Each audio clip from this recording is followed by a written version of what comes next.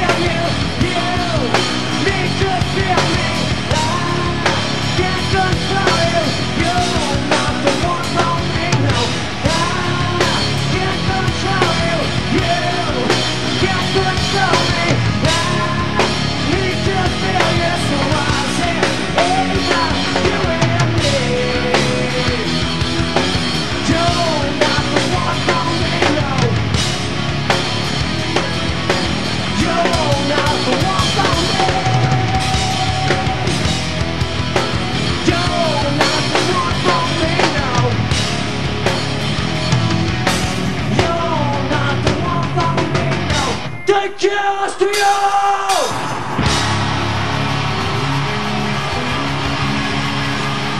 Thank you.